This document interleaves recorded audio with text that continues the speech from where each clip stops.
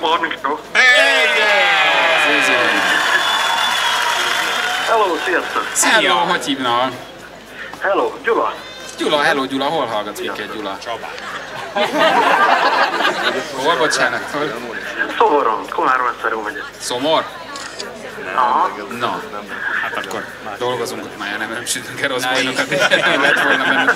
Azt írta nekünk, hogy az Eurovízió kapcsán felhívtuk uh, Fredit, hiszen szombaton lép uh, ugye színpadra ötödiknek, ami azért is jó, mert utána át lehet kapcsolni, hogy gyertek át szombatestére. Az, De jó! Mikor szombat este? ha már így hirtelen eszembe jut, szezonzáró adás. Holnap nem elfelejteni. Uh, sziasztok, nekünk ez az Euró csak vízió. Ezt írta SMS-ben. Úgyhogy szeretjük, te vagy a naphallgatója, jó? Köszönöm szépen. Köszönjük, küldök egy ajándékcsomagot. Köszönjük. Köszönjük, ciao, ciao. Kérdezzük a Sorsolási Bizottság elnökét a második emeleten minden rendben. Van egy hallgató gyerekek, négy órája áll a második emeleten.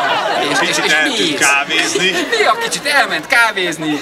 Igen, itt néha asszonykája kinéz, igen, közben megjelent egy fej alul egy kisgyermek, illetve itt nálunk az erkélyen pedig egy egészen pici csecsemő is velünk Nagyon van. aranyos. Tehát a kazincbackaiak szerencsések, mert egy olyan téren nézünk, hogy rengetegen az ablakból tudnak bennünket nézni. Igen, igen, és a szembelévő ember vagy nagyon magas, vagy valakinek a hátán tér.